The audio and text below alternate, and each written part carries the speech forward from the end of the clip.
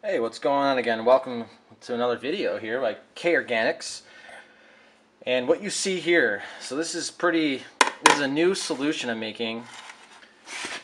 And this is tomato. So I had squished up some tomato, uh, added a little bit of sugar, added some fish aminos, added uh, IMO2 juice, added lacto, and then I put frass in here now. So I'm, I am because I read that chitin is broken down by class 3 chitinase, which exists in tomatoes. So I'm using that to break down my chitin right now to make this super bioactive and uh, using the lactobacillus to police the microbes that might not be beneficial. So now what I'm doing, I'm stirring this because I'm going to add some anaerobic bacteria to this mix.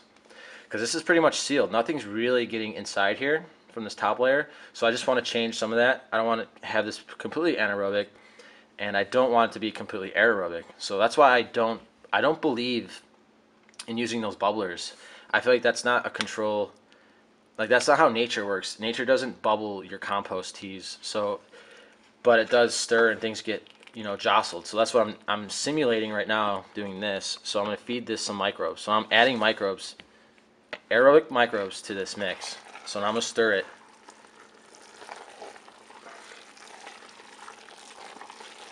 And this is going to create oxidation. And it's going to cause things to break down a little bit more. This is why I stir it. I don't always keep it going though because I don't want things to keep breaking down. I want this to be a slow, very slow process.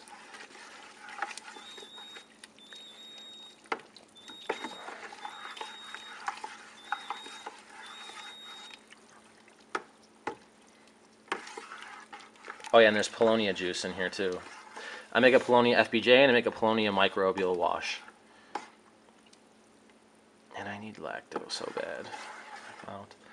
Alright, there we go. So I just added some aerobic bacteria. You see the reaction starting to go up again. And things are going to get broken down a little bit more. And I control this. I stir this uh, once a day when I wake up in the morning.